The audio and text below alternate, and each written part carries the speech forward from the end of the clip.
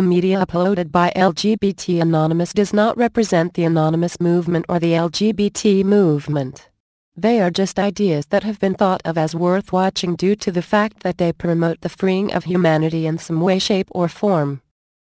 If you would like to learn and grow with us then please subscribe, join our social networks and feel free to email us with content that you would like to see uploaded to our channel. We at LGBT Anonymous acknowledge and support all gender identities. So,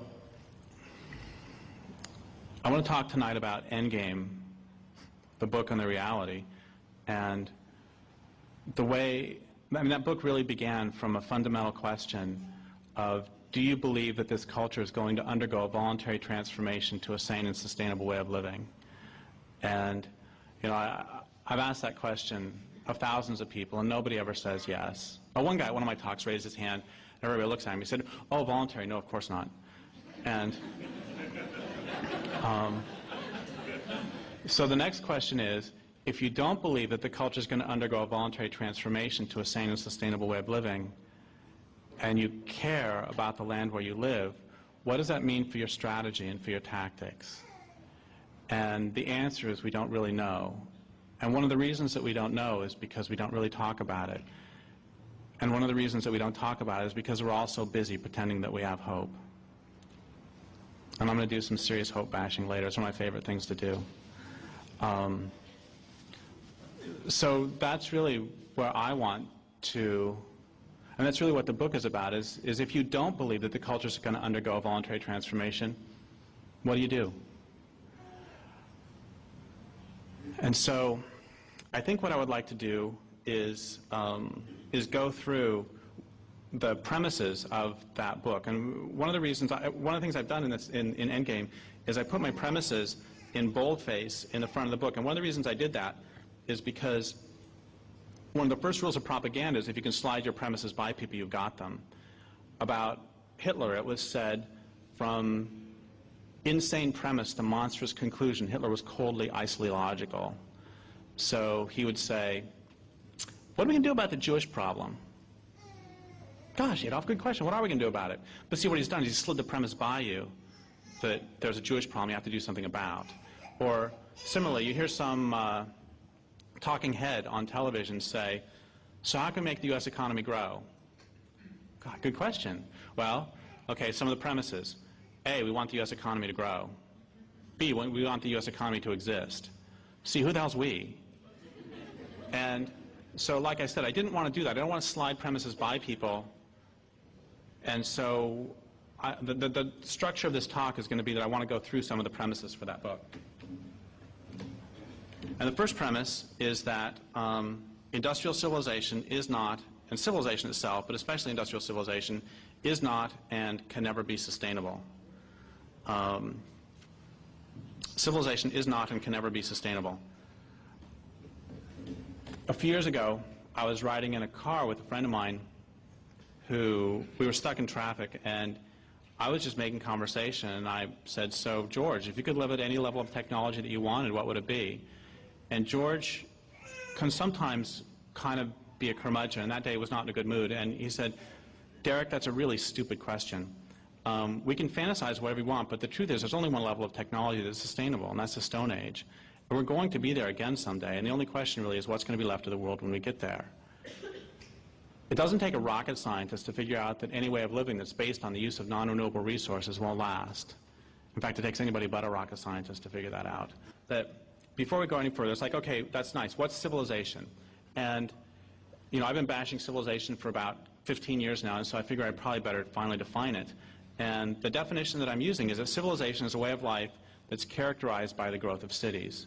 And that's defensible both linguistically and historically. Well, that's nice, Derrick, but what's a city? And a city, I've defined as a collection of people living in numbers large enough to require the importation of resources. And what that means is the Tolowa, on whose land I now live, were not civilized. They didn't require the importation of resources. They didn't live in cities. They lived in villages, camps, and once again, they didn't require the importation of resources. They would eat salmon and clams and huckleberry and salal and salmon and salmon and salmon and salmon, and then usually through the winter they would eat a lot of salmon. Um, and the Tolowa lived there for 12,500 years if you believe the myths of science. And if you believe the myths of the Tolowa, then they lived there since the beginning of time. And this culture has been there for 180 years, 170 years, and the area is getting pretty trashed. And um, so two things happen as soon as you require the importation of resources. One of them is that your way of living can never be sustainable. Because if you require the importation of resources, it means that you've denuded the landscape of that particular resource. And as your city grows, you'll denude an ever larger area. And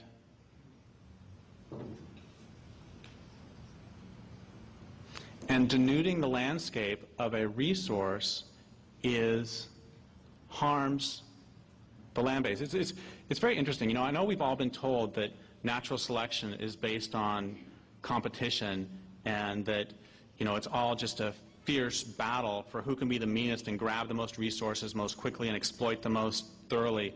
But short of showing how stupid our discourse is, I can disprove that in one sentence if you give me a couple of semicolons.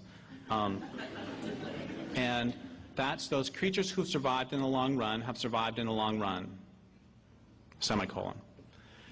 You don't survive in the long run by hyper-exploiting your surroundings. Semicolon. You survive in the long run by actually making your habitat better. What a concept. Um, okay, so anyway, um, two things happen as soon as you require the importation of resources. One is that you can never be sustainable, which means we could all become the best little natural capitalists in the world, and it doesn't matter. So long as there is this fundamental system in place, it's not going to be sustainable. And the other thing it means is that your way of life must be based on violence because if you require the importation of resources, trade will never be sufficiently reliable. Because if you require the importation of resources and the people in the next watershed over aren't going to trade you for it, you're going to take it. Which means we could all become junior bodhisattvas and it wouldn't matter. The U.S. military would still have to be huge because how else are they going to get access to our oil that just happens to be under somebody else's land? Um, if they require that oil, they're going to take it. So those two things are really fundamental. Um, so, because I've been talking about resources, so I want to go back to what I was saying before about any way of life. Another way to look at all this is any way of life that's based on the use of non-renewable resources also won't last. Um, I mean, it, it, doesn't matter what resource you're talking about. Let's, I mean, you would think that if you have a way of life that's based on the use of, I don't know, let's just choose a random example, um, oil. Um, you, would, you would think that you would start to consider what's going to happen when this non-renewable resource runs out. That, once again, just by definition, any way of life that's based on the use of non-renewable resources won't last. And I would go a step further, and I would say that any way of life that's based on the hyper-exploitation of renewable resources won't last. So if every year there are fewer salmon returned than the year before, eventually you're going to run out. And everybody knows this except for Michael Sissenwine, who is um, in charge of one of the divisions of the National Marine Fisheries Services, and his response when learning that 90% of the large fish in the oceans are gone was to say, that's not a problem. We have to ask what level of decline is reasonable or sustainable. exactly. And so in basically two sentences or three sentences, he destroyed the words problem, decline, two sentences, he destroyed the words problem, decline, reasonable, and sustainable. Um, so in, in, any case, if every year there are fewer passenger pigeons returned than there were the year before, eventually there will be none. If every year there's fewer old-growth forest, which once wasn't called old-growth forest but was simply called home, um, then eventually it will be gone. And I'm going to go a step further, and I'm going to say that any way of life that's based on the use of resources won't last. Because a resource is something there to be used. And there's a great line by a Canadian lumberman, when I look at trees, I see dollar bills. And if when I look at trees, I see dollar bills, I'm going to treat them one way. I'm going to convert them into dollar bills. If when I look at trees, I see trees, I'm going to treat them another way. And if when I look at this particular tree, I see this particular tree, I'm going to treat it differently still. And it's the same with fish. If when I look at salmon, I see dollar bills, I'm going to treat them one way. If when I look at salmon, I see salmon, I'm going to treat them another way. If when I look at this particular fish, I see this particular fish, I'll treat it differently still. The same is true also of, of women. If when I look at women, I see orifices, I'm going to treat them one way. If when I look at women, I see women, I'm going to treat them another way. And if when I look at this particular woman, I see this particular woman, I'm going to treat her differently still. If you perceive another as a resource, you're going to use them as opposed to enter into a relationship with them. And I need to be really clear that just because I perceive a fish as a fish, that doesn't mean that I can't eat it. And there's, I was doing a, a, radio interview in Spokane, Washington several years ago, and the interviewer said, you know, Indians exploited salmon too. And I said, no, they didn't, they ate them. And he said, what's the difference? I said, well, they gave them respect for the spirit in exchange for the flesh. And I knew that that answer was kind of bullshit, but I'm a male, and so I'm required by law to answer every question that's asked of me. Um, and so that afternoon, I went out and I sat next to this tree that I had a long relationship with, and I asked the tree, what is the fundamental predator-prey relationship? And the tree gave me the answer right away, which is if you consume the flesh of another, you now take responsibility for the continuation of the other's community. So if I consume the flesh of salmon from the Klamath River, I now take responsibility for the continuation of the Klamath River salmon. And that's, everybody knows this. You know, bears know it, mergansers know it, newts know it. The mergansers know that if you consume all the newts in this pond, there won't be any newts in the pond anymore. And we just forget sometimes. And that's the fundamental predator-prey bargain that we have to get into. And I want to go, I want to say something else about that, um, and then we'll come back to the other. But um, I got into a big argument with this guy several years ago because he was saying that because I use toilet paper that I am just as culpable for deforestation as the CEO of Weyerhaeuser. And I knew that that was wrong, but I, I couldn't really articulate why. And, um, and he said, go ask a tree. A tree will tell you. So I went out and asked a tree, and the tree said, you're an animal. You consume things. Get over it. And, but then I, it also gave me the, the other answer, which is yes, I am culpable, not because I consume the flesh of a tree. I'm culpable because I consume the flesh of a tree without fulfilling my end of the bargain. I'm culpable not because I use toilet paper, but because I don't stop Weyerhaeuser from deforesting. And that's a much more serious culpability than simply consuming. So I'm not culpable because I consume Klamath River salmon. I'm culpable because I consume Klamath River salmon and I don't take out the fucking Iron Gate. Um,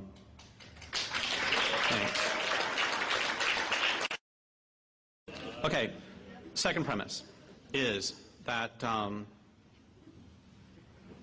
traditional communities do not often voluntarily give up or sell the resources on which their communities are based until their communities have been destroyed. They also do not willingly allow their land bases to be damaged so that other resources, gold, oil, and so on, can be extracted. It follows that those who want the resources will do what they can to destroy traditional communities, as we see. Third premise. Our way of living, industrial civilization, is based on, requires, and will collapse very quickly without persistent and widespread violence.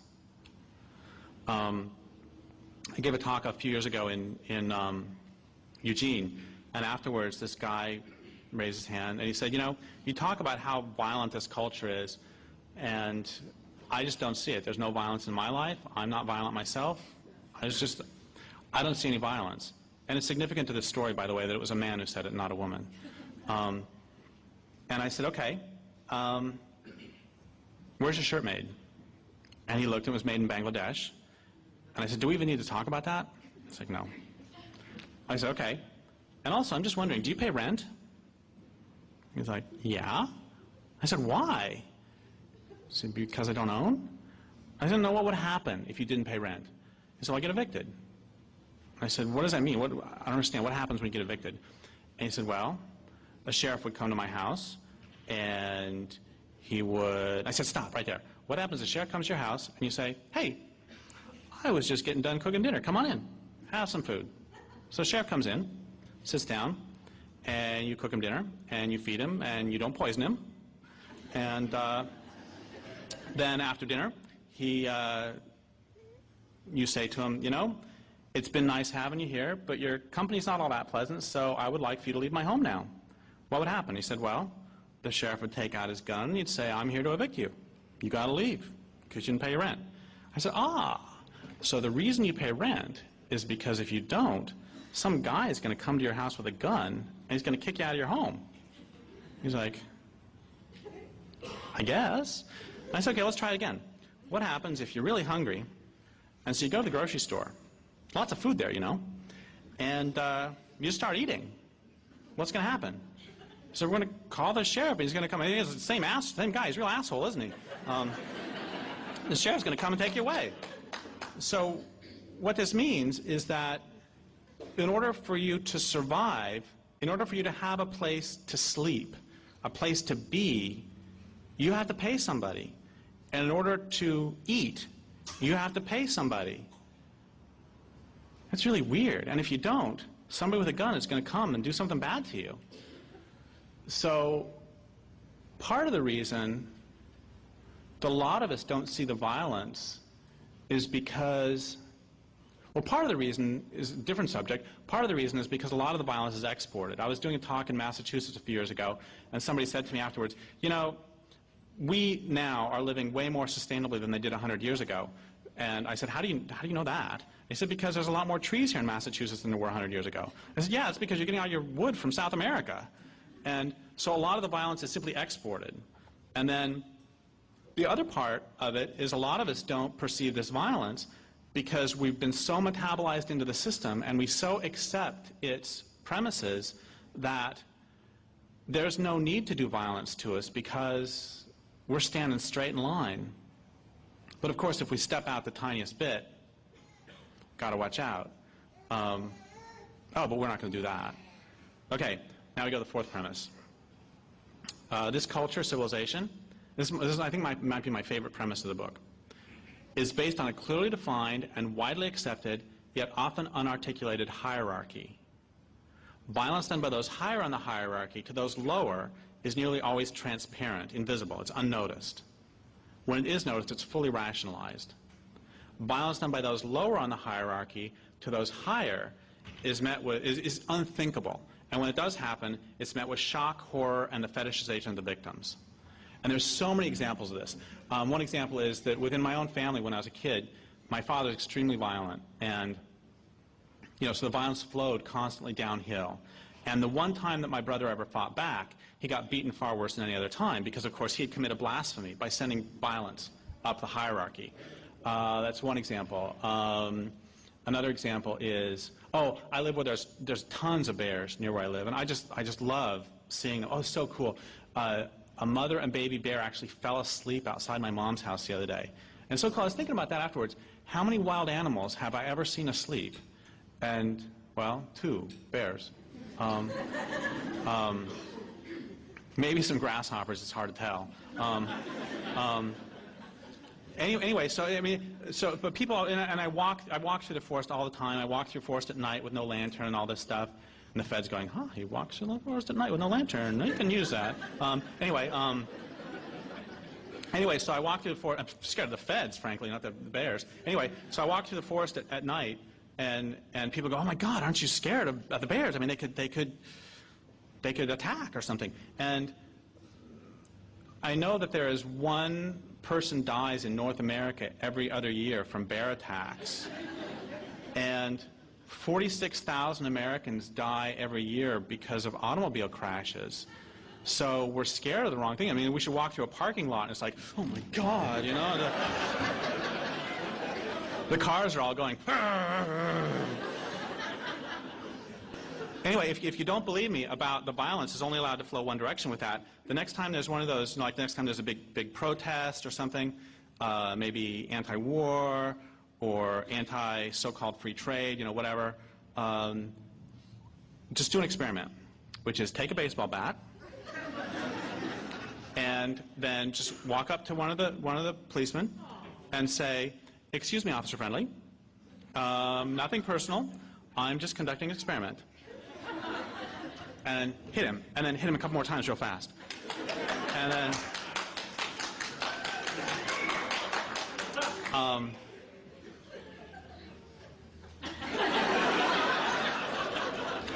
Somebody's going to take down your name.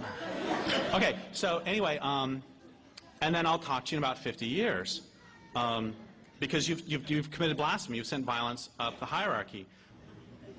Oh, and then, then I want to say one more thing about this, which is that, that um, and this is to have to, does anybody mind if I swear? Um, I think that the word fuck is the most amazing word in the English language because it's all of patriarchy condensed into four letters. Because the same word that means make love to means do great violence to. That's really, really twisted. And it's also kind of confusing. I mean, because so somebody can say to me, like, I'm going to fuck you. And I'm like,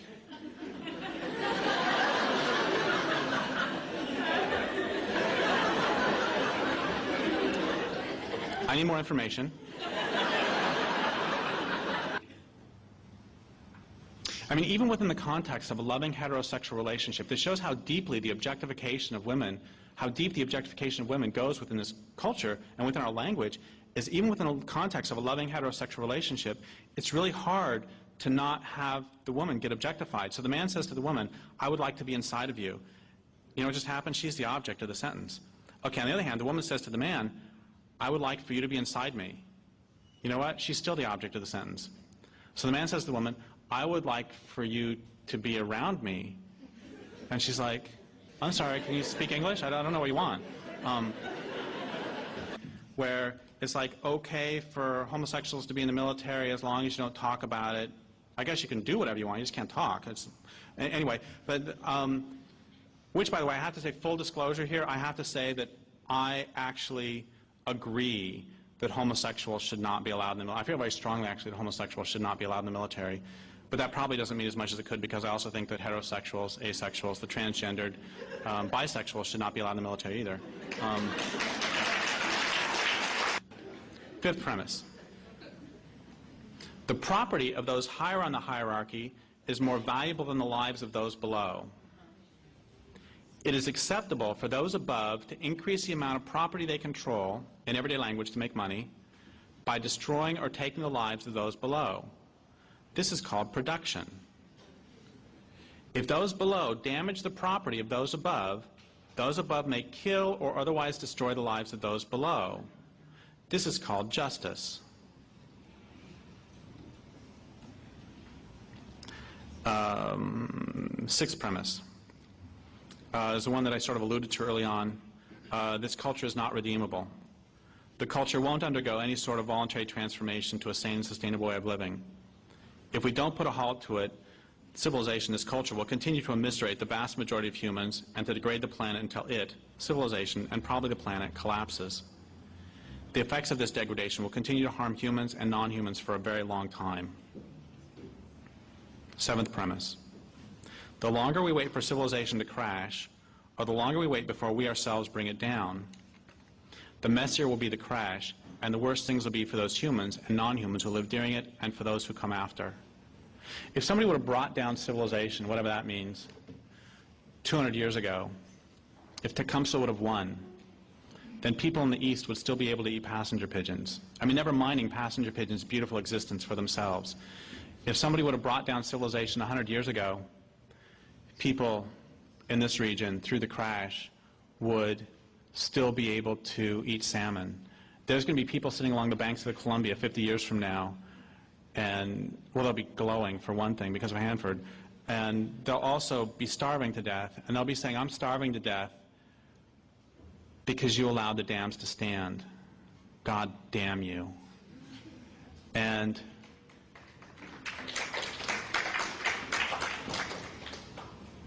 you know, but the dams are really important. You know, they're necessary for the electricity to make it so Safeco Field you can move the, uh, the top back and forth. They're necessary to smelt aluminum for beer cans. Um, anyway, so the longer we wait, I mean, I mean, if somebody would have brought down civilization 100 years ago, we wouldn't have to worry about much about global warming, we wouldn't have to worry about the toxification of the total environment with pesticides. We wouldn't have to worry about dioxin in every mother's breast milk. I mean, if 50 and 75 years from now, are people going to be going, you know, if somebody would have brought it down 75 years ago, we'd still have amphibians. Um, if somebody would have brought it down 75 years ago, we would still have, uh, well, someone brought down 15 years ago. They'll be saying 15 years now from now. We will still, we'd still have sturgeon. You know, it's like, how long? You know, at what point? What's the threshold? You know, 100 years from now, it's like we'd still have, you know, name it. we'd still have oceans, air to breathe. You know, that's not that's not one of my premises, but but that's that's something that, that if I would have thought of it when I was writing the book would have been one of the premises, which is the primary, if not only measure by which we'll be judged by those who come after is going to be the health of the land base. They're not going to give a shit as to whether we voted Democrat, Republican, Green, anarchist, didn't vote at all. They're not going to give a shit as to whether we recycled. They're not going to give a shit as to whether we were violent or nonviolent. They're not going to give a shit as to whether we're nice people or not nice people. They're not going to give a shit as to whether we uh, wrote great books or made great films or did great talks or anything else. They're going to care about whether they can breathe the air and drink the water. You know, we can all fantasize whatever we want about some groovy eco-socialist utopia with free love everywhere. It doesn't fucking matter if you can't breathe the air and can't drink the water. And the only measure, I mean, it's embarrassing to say this, but the only measure by which any generation will be judged is the health of the land base that they pass on. That brings us to the eighth premise of the book. The needs of the natural world are more important than the needs of the economic system. The needs of the natural world are more important than the needs of the economic system. I have, thanks.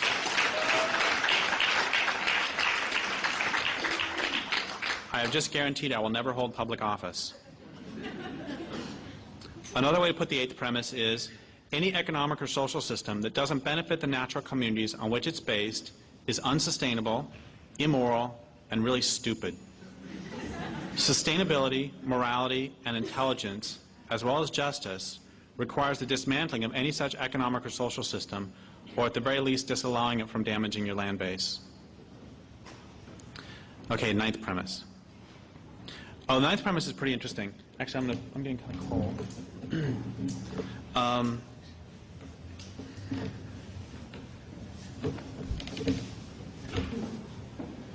it's pretty interesting. You know, I can bash almost anything I want, and people are cool with it. You know, I can bash capitalism, that's fine. I can bash uh, environmentalism, that's fine. I can bash anarcho-primitivism, that's fine. I can bash myself, that's fine. I can bash blah, blah, blah, it's fine. But there's a few things that you, you like, cannot bash.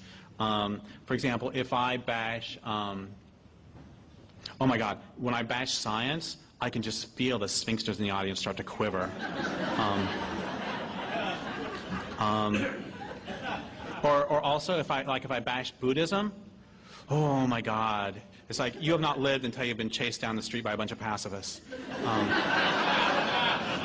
um, um, or another one that's really hard to talk about is is um, is population, and because if you if you mention that there are more humans on the planet than the planet can support, then people suddenly start to presume that you're actually anti-human, um, which doesn't really follow in my mind. Oh, it's great too. I got to tell you this. That um, you know, they say there's no such thing as a stupid question. I got one the other day, um, and so I'm I'm gonna like tell everybody in the country. Um, there's this this. I sometimes do interviews on a radio station south, one county down in Humboldt County, one south county south of where I live, and there's this guy who hates hates me and hates what I say so much that every time I'm on there, he calls up, and I, I'm not sure. I think he attacks me, but I usually can't figure out what the hell he's saying.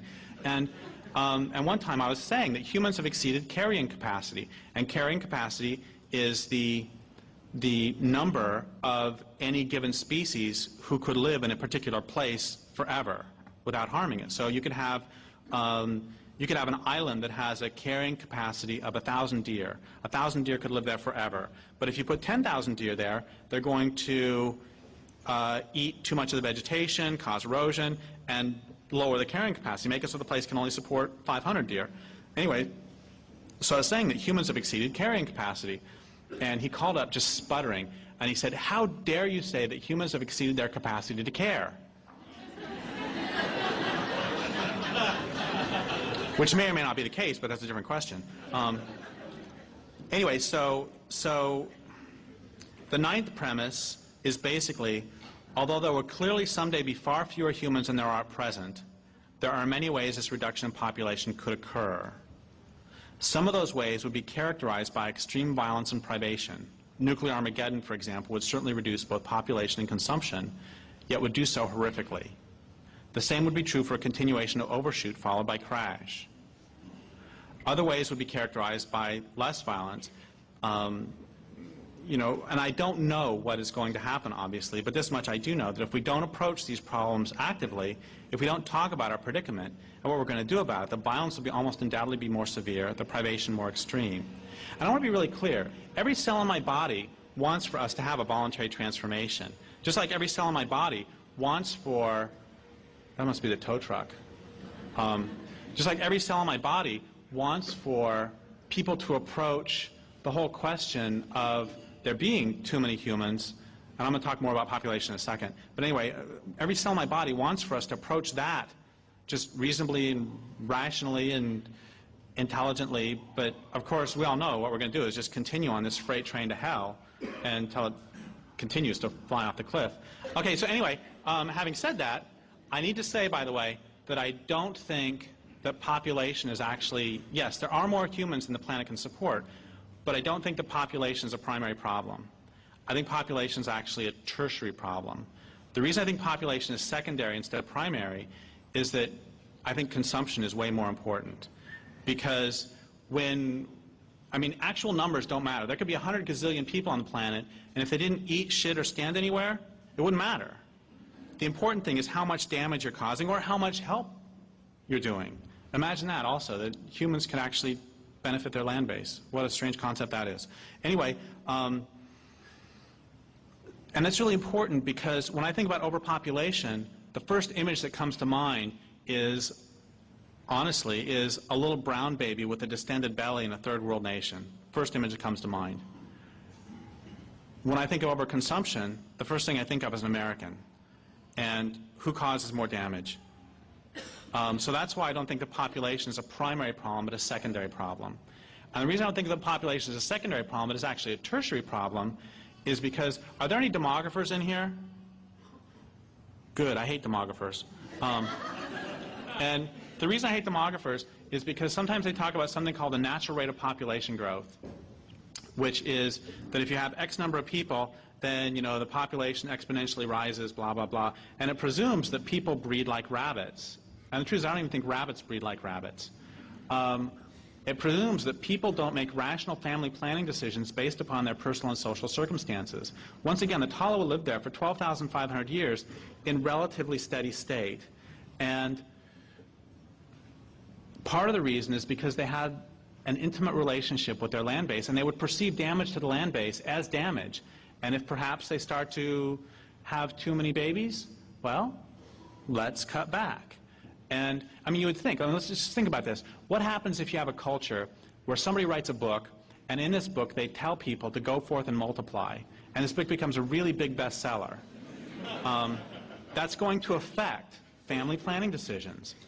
Um, and also, I need to say this too, that there were, in native North America, there were about 250 different um, plants that were used as contraceptives and abortifactants by um, by the women. And the decisions to use those were made by women. Bunch of fucking primitives. Um, and yeah, imagine that. And oh, I got to tell you the story too. This is so cool. Is um, back uh, at one point, you know, a bunch of male anthropologists went out, and you know, anthropologists like exclusively male at one point, and a bunch of anthropologists went out, and they were they were trying to find out what indigenous peoples would use for contraceptive. And they would go talk to the men because, of course, the men are the only ones we're talking to. And they say, so how do you not make babies? And they're like,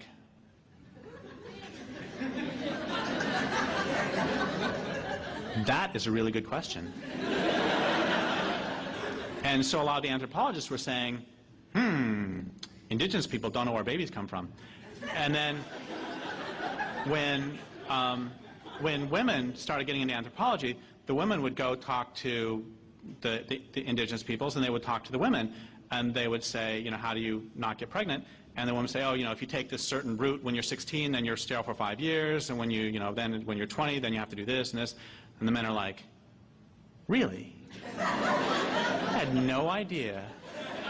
Um, oh, I want to say one more thing about population, which is that, um, which is that, uh, you know, the, the whole thing about making a, uh, a wall down in, down in Mexico or down at the border of Mexico, and how we need to stop all those Mexicans from coming up and the Central Americans and the El Guatemalans and the Nicaraguans or whatever their names are. Um, the, uh, I have to say that I am actually strongly in favor of closing the border to Mexico um, on one condition, um, which is that if you close it to people, you close it to the movement of resources as well. Um,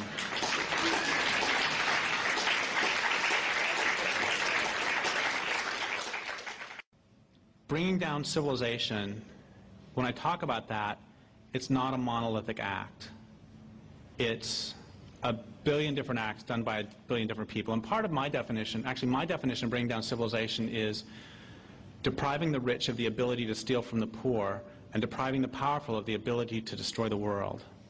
Okay, that's nice, Derrick, but that doesn't alter the fact that there are, there are people who are dependent upon this social system which is killing the planet. I mean, that's part of the problem, is that just like any good abusive situation, we have been made dependent upon the very system that's exploiting us. And part of the reason that we don't fight back more is because if your experience is that your water comes from a tap and that your food comes from a grocery store, not your head, not your heart, but your experience, if that's your experience, you will fight to the death to defend that system that brings you your food and water because your life depends on it. And similarly, if your water comes from a river and your food comes from a land base, people used to drink out of rivers, how quaint is that? Um, if your experience is that your water comes from a river and that your food comes from a land base, you will fight to the death to defend that because your life depends on it. But we have all been so made dependent on this system. and it becomes really problematical. It's very nice, Derrick. But what are you going to do about this? Anyway, back to the original thing, that taking down civilization is not a monolithic act. It's a billion different acts with a billion different moralities. And so, for example, I don't care what your motivation is, um, if you blow up a children's hospital, that is an atrocity. I don't care if you're, if you're an anarcho-primitivist or if you're a member of the U.S. military. That's just bad. There is no way you can make a moral case for blowing up a children. Oh, if you're bringing freedom and democracy to a country. Um, which, by the way, I figured out how to listen to George Bush's speech without going insane. Um, well, turn off the volume, for one thing. Um, but if you're not going to do that, another way to do it that actually makes everything perfectly clear is just do a word substitution. And I came up with this idea back when they did the whole freedom fries thing, when they changed french fries to freedom fries. It's great. All you do is word for word, substitution. Every time George Bush says the word freedom, substitute, substitute the word fascism. Every time he says the word um, democracy, substitute the word corporate control. So we're bringing freedom and democracy to Iraq. Damn straight. Um, oh, I want to say something else too, and we're going to get back to the other, don't worry. And everybody in here, of course, now by now certainly knows why my books are written in a nonlinear fashion. Um, anyway, um, this whole we thing, you know, we're bringing freedom and democracy to, to, Iraq, is just so weird because one of the things I think we really need to do is break that identification with the system and with those in power. That's like this friend of mine called me up not very long ago and she said, how much longer do you think we're going to be in Iraq? And I said, we're in Iraq? oh my God, I thought we were in Northern California. And she's like, okay. How much longer do you think our troops are going to be in Iraq? I said, I got troops? Holy shit, will they do what I tell them? If, they take, if I tell them take out the Grand Coulee, will they do it? He's like, Derrick, this is why I only call you once every six weeks. anyway, so, so, you know, I don't care what your motivation is, you cannot make a moral case for blowing up a children's hospital. That's just an atrocity.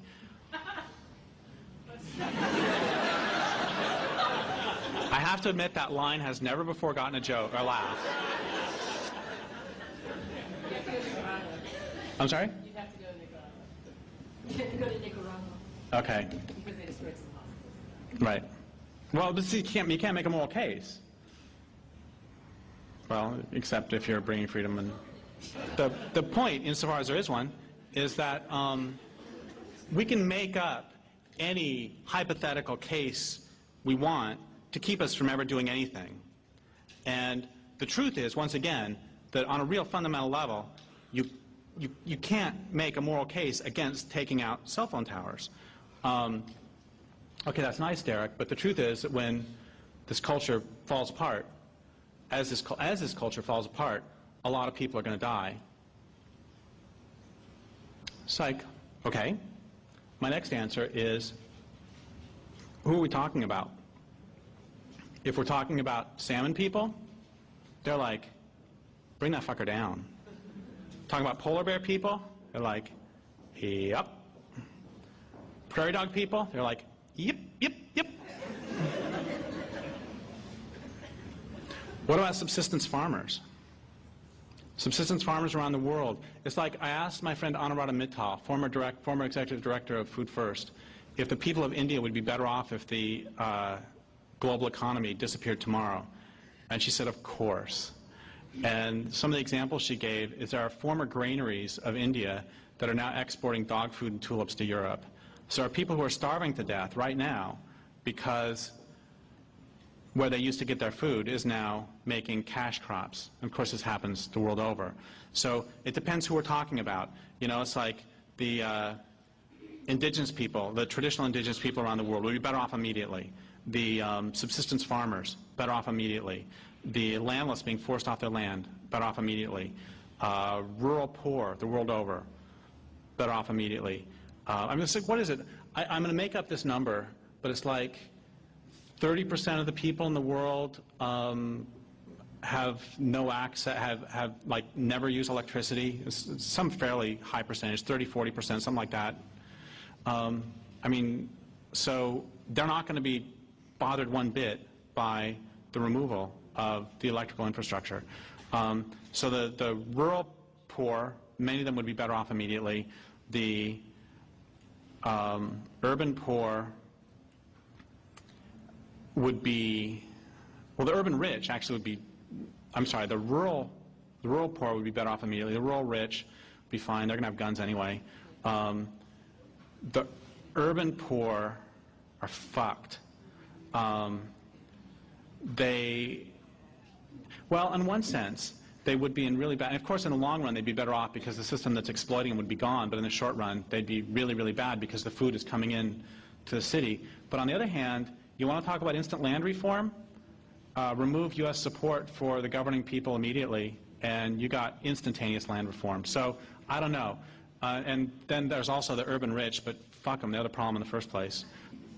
Okay, here's another part, is that I can guarantee, this is actually more important, I can guarantee that 100%, 100% of the problems as this culture collapses are going to be because those in power, those who are already destroying the world, attempt to maintain that lifestyle as the world collapses. At any moment, at any moment, those in power, whatever that means, could choose to have a soft landing. I mean, that's one of my secret fantasies is that, is that suddenly we start using all of this cleverness that we think we have to actually solve problems instead of make new ones.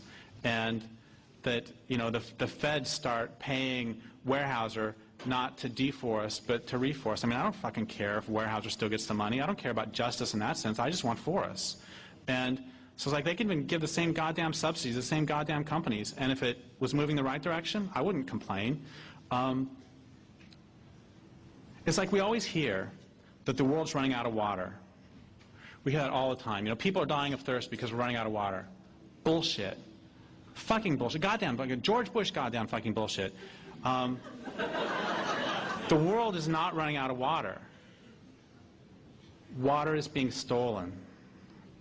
90% of the water that's used by human beings is used for industry and agriculture.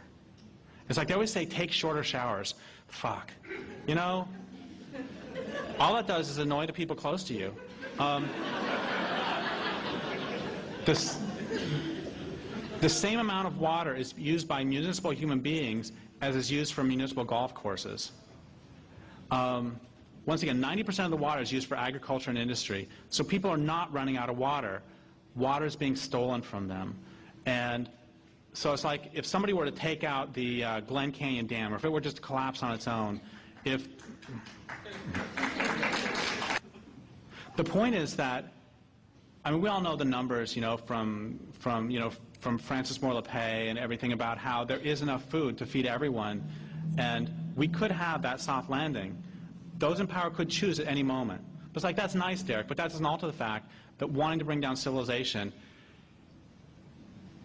is going to kill a lot of people. Even if those decisions are made by those in power, it's still going to kill a lot of people. And I finally came up with an answer that I'm really happy with, and I want to share that with you now. Um, you know, what do you do with the fact that no matter what you do, you're involved in mass murder? You know, because if, if you're civilized, if you're part of this system already, your hands are blood red. It's just you don't notice it usually. Um, you know, and every action within the industrial economy is harmful, which is really fucked up too. I mean, that's another thing that, that we, we have been, that's been stolen from us, is the ability to have a fine meal without it being destructive. The ability to simply live without without knowing that you're destroying things by your actions. Um, anyway, what do you do with the fact that no matter what you do, you're involved in mass murder? And for now, I've got an answer. If you've gotten this far in this book, if you're simply anything other than entirely insensate, we probably agree that civilization is going to crash, whether or not we help bring it about. If you don't agree with this, we probably have nothing to say to each other. Hey, Lou Piniella got picked up by the Cubs. That's pretty cool. We probably also agree that the crash will be messy. We agree further that since industrial civilization is systematically dismantling the ecological infrastructure of the planet, the sooner civilization comes down, whether or not we help it crash, the more life will remain afterwards to support both humans and non-humans. If you agree with all this, and if you don't want to dirty your spirituality and conscience with the physical work of helping to bring down civilization, and if your primary concern really is for the well-being of those humans who will be alive during and immediately after the crash, then given, and I repeat this point to emphasize it, the civilization is going to come down anyway, you need to start preparing people for the crash. Instead of coming to my talks and attacking me for stating the obvious, go rip up asphalt and vacant parking lots to convert them to neighborhood gardens. Go teach people how to identify local edible plants, even the city, especially in the city, so these people won't starve when the proverbial shit hits the fan, they can no longer head off to Albertsons for groceries. Set up committees to eliminate or, if appropriate, channel the additional violence that might break out. We need it all. We need people to take out dams. We need people to knock out electrical infrastructures. We need people to protest and to chain themselves to trees. We also need people working to ensure that as many people as possible are equipped to deal with the fallout when the collapse comes. We need people working to teach others what wild plants to eat, what plants are natural antibiotics. We need people teaching others how to purify water, how to build shelters. All this can look like supporting traditional local knowledge. It can look like starting rooftop gardens. It can look like planting local varieties of medicinal herbs. And, and it can look like teaching people how to sing. The truth is that although I do not believe that designing groovy eco-villages will help bring down civilization, when the crash comes, I'm sure to be first in line knocking on their doors asking for food. people taking out dams do not have a responsibility to ensure that people in homes previously powered by hydro know how to cook over a fire. They do, however, have a responsibility to support the people doing that work. Similarly, the people growing medicinal plants in preparation for the end of civilization do not have a responsibility to take out dams. They do, however, have a responsibility at the very least to not condemn those people who've chosen that work.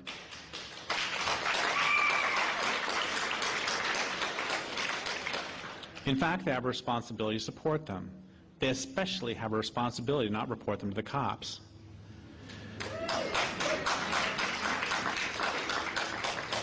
It's the same old story. The good thing about everything being so fucked up is that no matter where you look, there's great work to be done. Do what you love, do what you can, do what best serves your land base. We need it all. That doesn't mean that everybody taking out dams and everybody working to cultivate medicinal plants are working toward the same goals. It does mean that if they are, each should see the importance of the other's work. Further, resistance needs to be global. Acts of resistance are more effective when they're large-scale and coordinated. The infrastructure is monolithic and centralized, so common tools and techniques can be used to dismantle it in many different places, simultaneously if possible. By contrast, the work of renewal must be local. I have a new catchphrase, which is dismantle globally, renew locally. to be truly effective, oh, another catchphrase I have is um, protect your land base. You can't have sex without it. Um, anyway, to be truly effective, acts of survival and livelihood need to grow from particular land bases where they'll thrive. People need to enter into conversation with each piece of earth and all its human and non-human inhabitants. That doesn't mean, of course, that we can't share ideas, or that one water purification technique won't be useful in many different locations. It does mean that people in those places need to decide for themselves what will work. Most important of all, the water in each place needs to be asked and allowed to decide for itself. I've been thinking a lot again about the cell phone tower behind Safeway, and I see now how these different approaches manifest in this one small place. The cell phone tower needs to come down. It's contiguous on two sides with abandoned parking lots. Those lots need to come up.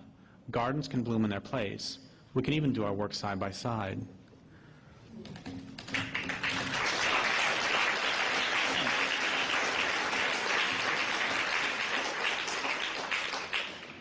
Okay, no segue at all. The, ne the next premise is the culture as a whole most of its members are insane.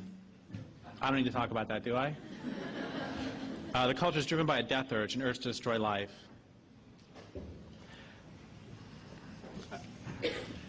Speaking of genitals, did you know that Nicole Kidman does not like to wear underwear? I read that in the newspaper, so it must be true.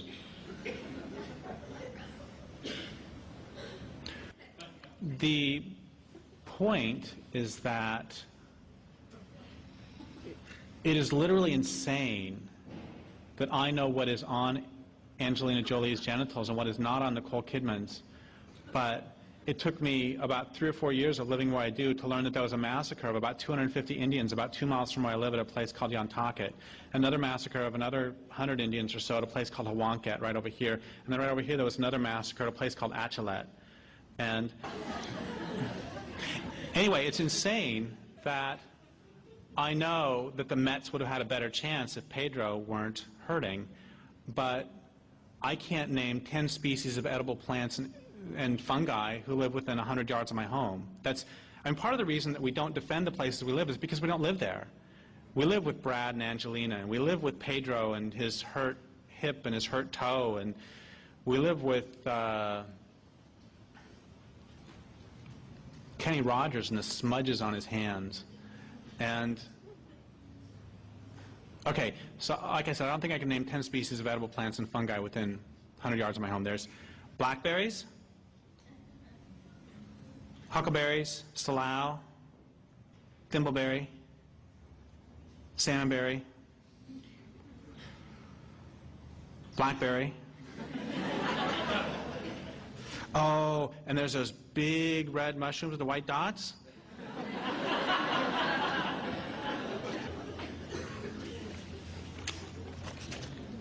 The 11th premise of the book is from the beginning, this culture, civilization, has been a culture of occupation, and the government is a government of occupation. What does a government of occupation do? It moves in, it facilitates resource extraction, and maximizes production. That's what they do. That's their job. What does U.S. government do? Moves in, facilitates resource extraction, and maximizes production. You know, uh, all my American Indian friends are saying, so what the hell took you so long to figure this one out? Um, I would like to read something about that. Um,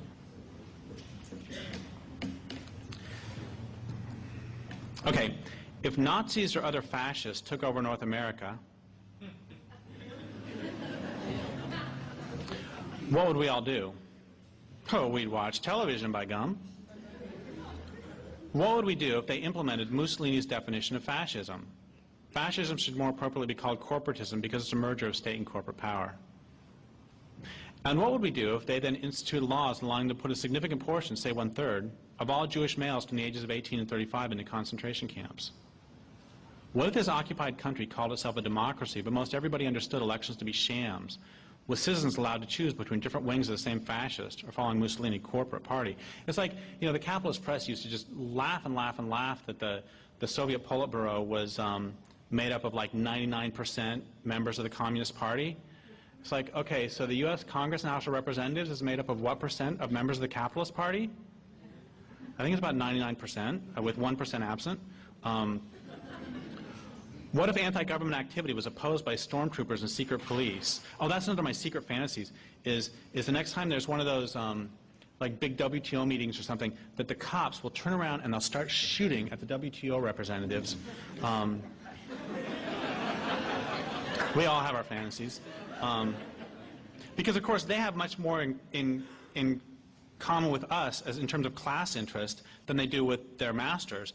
But the reason, of course, that can't happen is because the violence is only allowed to flow down the hierarchy, and for them to shoot at their masters um, would be violence flowing up the hierarchy. Anyway, what if anti-government activity was opposed by stormtroopers and secret police? Would you fight back? If there already existed a resistance movement, would you join it? Substitute the word African American for Jewish and ask yourself the same question. Because, of course, about a third of all African American males in the ages of 18 and 35 are under so-called criminal justice supervision.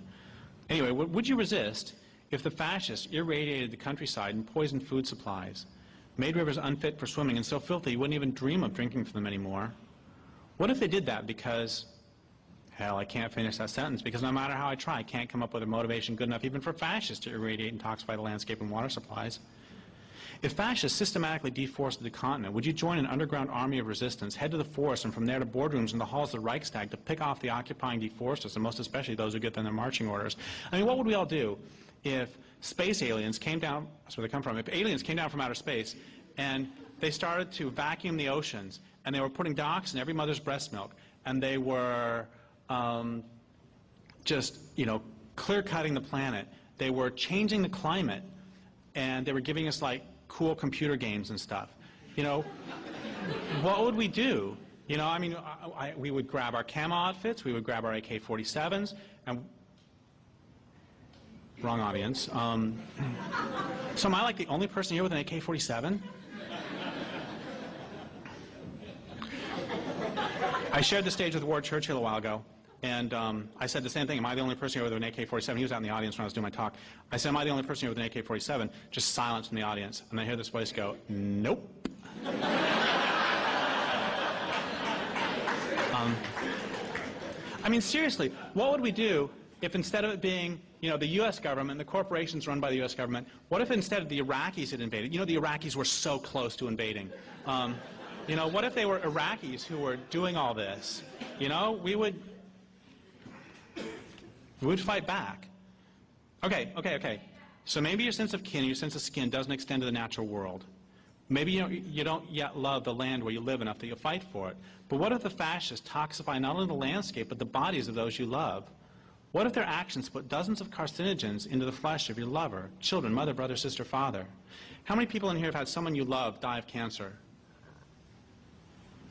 It's about 80%, 70%. Would you fight back? What if the fascists toxify your own body? Would you still cling to the illusion that their edicts carry more weight than that brought to bear by their secret and not so secret police? Would you work for this regime? Would you teach others its virtues? Or would you fight back? If you won't fight back when they toxify your own body, when precisely will you fight back? Give me, and more importantly yourself, a threshold at which you finally take a stand. If you can or won't give the threshold, why not? None of these questions are rhetorical. The questions are real. They are, at this point, some of the most important questions there are. So what I'd like to do is, I've got one, two, uh, three more premises I want to talk about. Well, I want to do two premises. I want to bash pacifism, and then I want to bash hope, and then read two things real fast, and then, and then, and then we're done. Okay. Next premise. There are no rich people in the world, and there are no poor people. There's just people. The rich may have lots of pieces of paper that many pretend are worth something, and the poor may not. The rich claim they own land, and the poor are denied the right to make the same claim. A primary purpose of the police is to enforce the delusions of those with lots of pieces of paper. Those without the papers generally buy into these delusions almost as quickly and completely as those with. Those delusions carry with them extreme consequences in the real world. What I mean by this is Weyerhaeuser doesn't own any land. Weyerhaeuser doesn't actually exist. But insofar as we pretend it exists, we all agree that Weyerhaeuser owns land. But Weyerhaeuser doesn't own any land. It's like there's a bunch of cars out there, but they don't belong to anybody. And I can say this because, of course, my truck is like 500 miles away. Um, but we all agree that this person owns this land, and this person owns this land, and these corporations own this much land. And did you know, by the way, that, that land ownership concentration in the United States is, land ownership is more concentrated in the United States than it is in so-called banana republics like Honduras? Um, I don't remember the numbers, they're in Strangely Like War, but it's basically, oh, I'm not even going to make them up, but the rich own lots of land. The point is, that's just a cultural convention. We all agree that Weyerhaeuser owns land. Those agreements have consequences in the real world.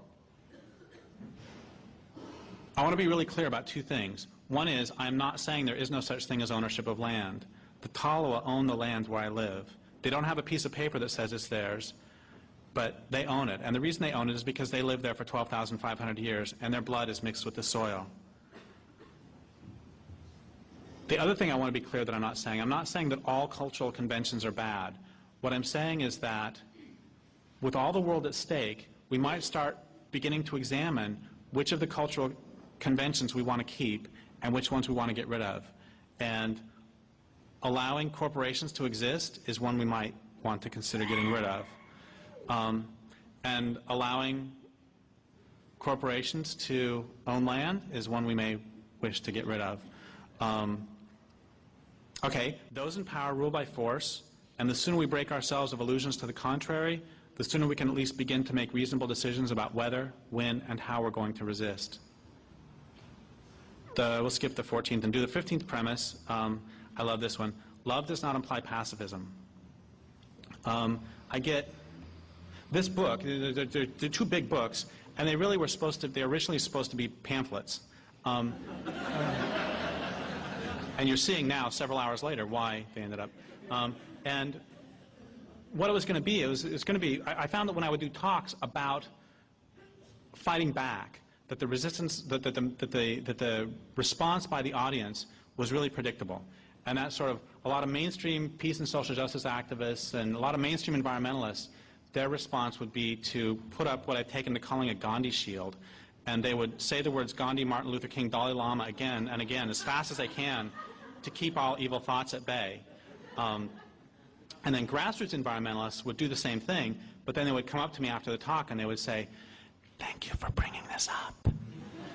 And then other groups of people, like prisoners and family farmers, survivors of domestic violence, uh, American Indians, uh, radical environmentalists, I know I'm missing uh, the poor, a lot of people of color would have an entirely different response, which is they would look at me like, so can you tell us something we don't know?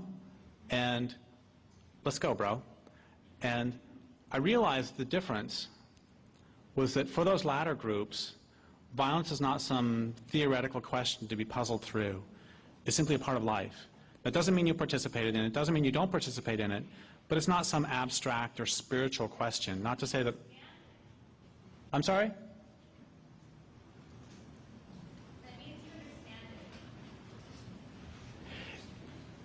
It means you know it in your body.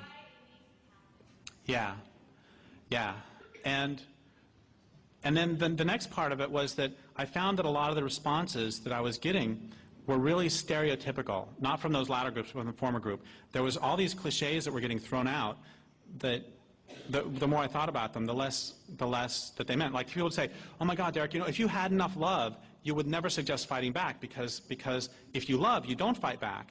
And um, I don't think but love implies pacifism, and I think that Mother Grizzly Bears will back me up on this one. Um, I grew up in the country, and in my life, I have been attacked by mother horses, cows, dogs, cats, geese, geese, chickens, mice, hawks, eagles, hummingbirds, spiders, who thought I was attacking their babies. And if a mother mouse is going to take on somebody 8,000 times her size, what the hell's wrong with us? and then another one is um, you can't use the master's tools to dismantle the master's house. And I love Audre Lorde. She's great. A, she's not a pacifist, and anybody who ever says this in sort of a pacifistic sense has never read her essay, because it has nothing to do with pacifism. It has to do with we need a wide, wide range of voices, is actually what the essay is about. But as much as I love Audre Lorde, I'll tell you this much. Um, she never worked construction. Because it doesn't matter whose goddamn tools you use. Um, you use my tools, you use your tools, master's tools, doesn't matter. And there's another problem with that, too, which is it presumes that the house belongs to the master. But it's just a house. And it also presumes that the tools belong to the master. It presumes that violence is one of the master's tools. You know, those in power are trying to tell us that they own the land. They're trying to tell us that they own the water. They're trying to tell us they own genetic materials. I'll be goddamned if I'm going to give them violence too. And once again, I think Mother Grizzlies are going to back me up on this one. Um, what's another one we always hear? Oh, God, this one's embarrassing. This is so embarrassing. Um, how many people in here have the book A Language Older Than Words? Okay, those of you who have that book, do you also have um, like a straight razor or a razor blade? Okay, what I would like for you to do is, is the chapter Violence Revisited, take the razor, cut the pages out, crumple them up, and throw them away. Put them in the, put them in the fire. Because, oh God, this is so embarrassing. It's like, it's like, it's like admitting I'm a compulsive masturbator, which I'm not. Um, um, Okay, in that book, in that chapter, oh God, this is terrible. I actually say, I say that if you fight back, you run the risk of becoming like they are. Oh my God, it's like that's so stupid. I mean, does that mean that the woman who kills a rapist runs the risk of becoming a rapist? Does that mean that the tiger who kills a zookeeper runs the risk of becoming a zookeeper?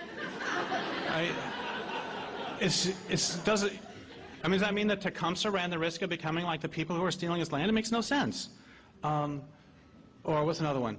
Um, oh, this is the best one. And then, and then I'll bash hope for a while. Um, um violence never accomplishes anything.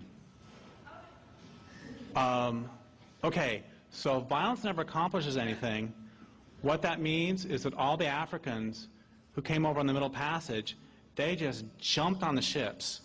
And then when they're over here, they just worked in the fields for the hell of it. And what this means is that the American Indians, um, they just saw the white people and they said, hey, you want some land? Your way of living is way better than ours, so just take it. You'll treat it better than we do. And there's this great line by, by um, Robin Morgan. She says, anywhere in the world, any woman can be walking alone late at night, and if she hears footsteps behind her, she has reason to be afraid. And she calls that the democracy of fear. Do not fucking tell me that violence doesn't accomplish, any, accomplish anything. It has systematically terrorized half of the population of human beings. And violence is dreadfully, dreadfully effective. That's why they use it.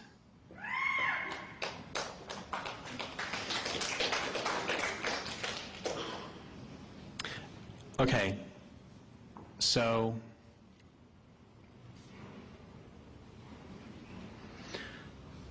a, a few years ago, I got a call from a friend of mine who works on toxics issues in Northern California, and she uh, she was crying, and she said, this work's getting to me. It breaks, it's breaking my heart, this environmental work. I can't take it. I said, yeah, this work really can get to you. It'll break, it'll break your heart for sure. It'll do that. And then she said, dominant culture hates everything, doesn't it? I said, yeah, it does, even itself. She said, it has death urge, doesn't it? I said, yeah, it does. She said, unless it stops, it's going to kill everything on the planet, isn't it? I said, yeah, it is, unless it stopped. And then she said, we're not going to make it to some great new glorious tomorrow, are we? And I said, I've been waiting for you to say that. And the reason I said that to her is because about 12 or 13 years ago now, I was undergoing a similar collapse where I was just bursting into tears several times a week over the death of the salmon, sturgeon, bull trout, Selkirk caribou. And a lot of my environmentalist friends were saying, God, Derrick, take some time off. You know, the problems still be there when you come back. it's so funny. I can always tell activist audiences because they laugh at that, and non-activist audiences don't, don't get the joke. Um, anyway, um, I knew that I didn't need to just take time off and then come back to the same old thing. I knew that I had to keep pushing because if you're not going to cry about the death of the salmon, what are you going to cry about? If tears mean anything. And so I just kept pushing. And then one day I called this American Indian friend of mine, Jeanette Armstrong. She's an Okanagan writer and activist. And I said, you know, this work's killing me. It's breaking my heart. I said, yeah, it'll do that. I said, you know, the, the dominant culture hates everything, doesn't it? She said, yeah, it does even itself. I said, it has a death urge, doesn't it? She said, yeah, it does. I said, unless it stops, it's going to kill everything on the planet, isn't it? She said, yeah, it is unless it stopped. I said, we're not going to make it some great new glorious tomorrow, are we? And then she said the best thing she could possibly say, which is, I've been waiting for you to say that. And the reason that was the best thing she could say is because it normalized my despair. It let me know that despair is an appropriate response to a desperate situation. Let me know that sorrow is just sorrow and pain is just pain. And it's not so much the sorrow or even pain that hurts as it is my resistance to it. I can hold in my heart the understanding that we're really fucked and that life is really good. Okay, and I mean, there's this, this idea that if you really start to internalize how bad things are, that you have to walk around being miserable all the time. And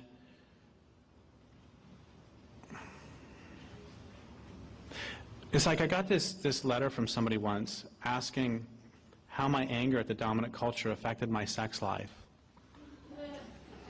And I was really tempted to respond, that's a question to which you will never know the answer.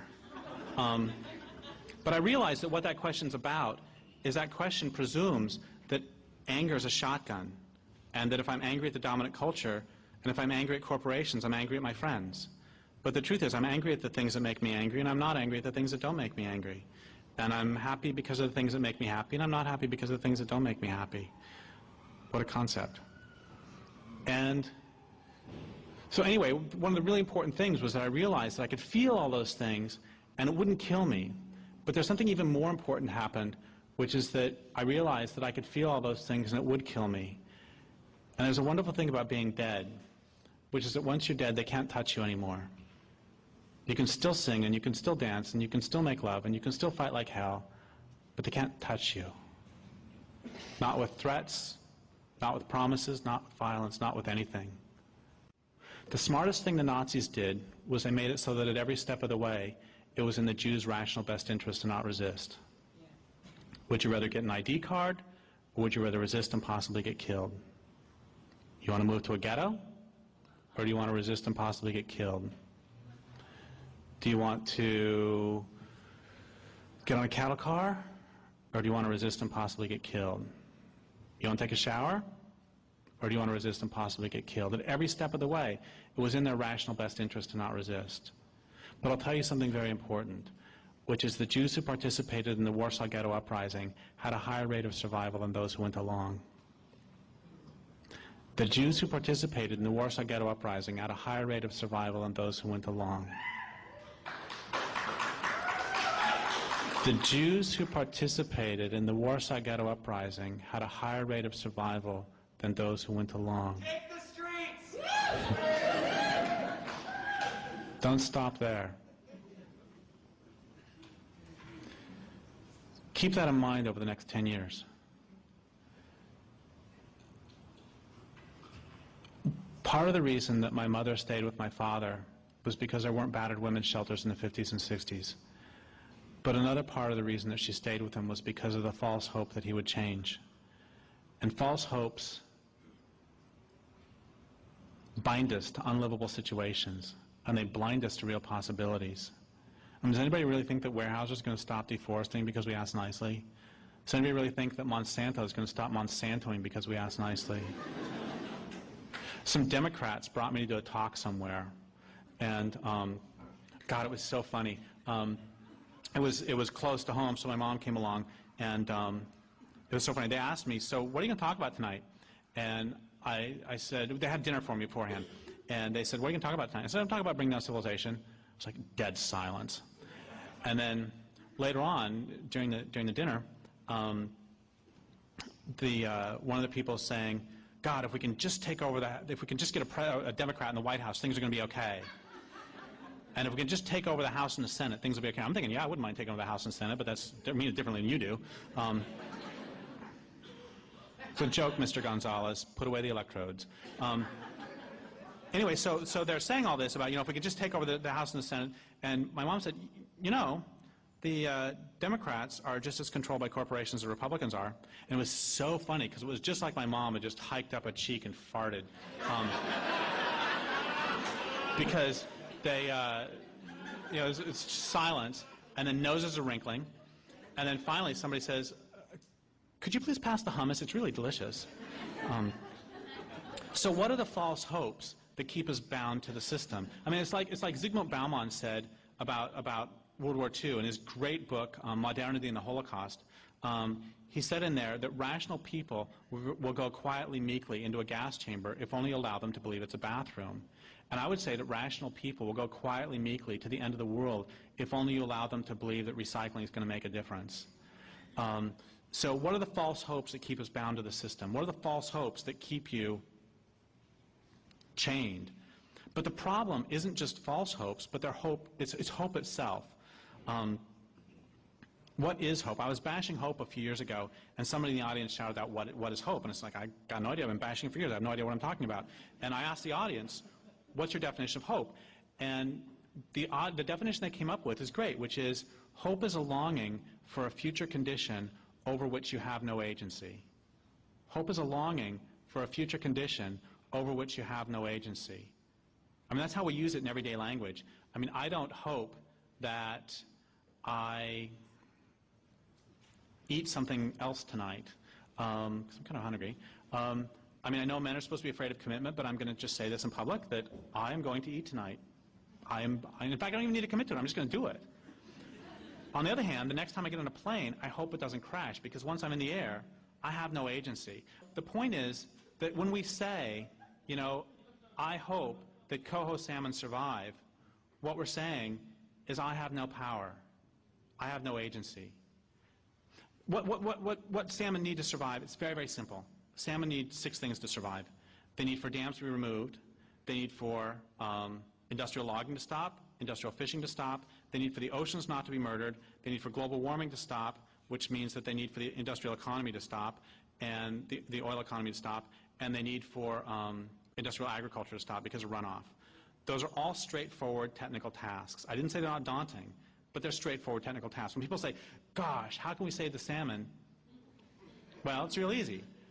What is impossible is to save the salmon and keep dams, industrial logging, industrial fishing.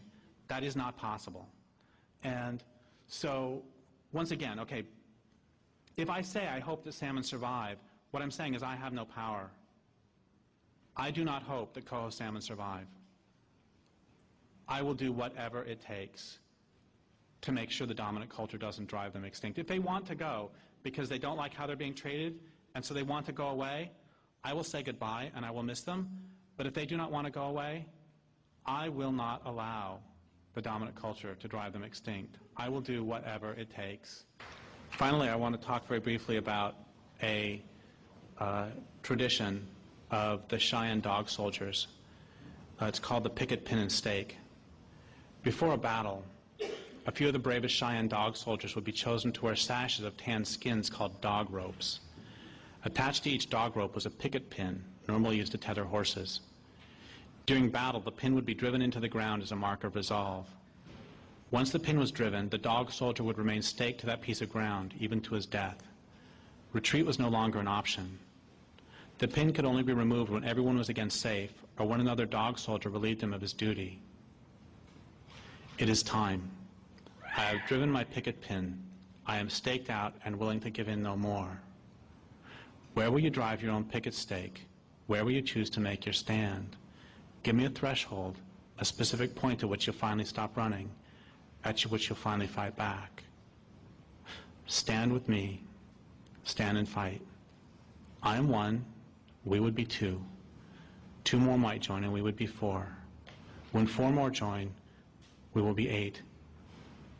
And we will be eight people fighting, whom others will join, and then more people, and more.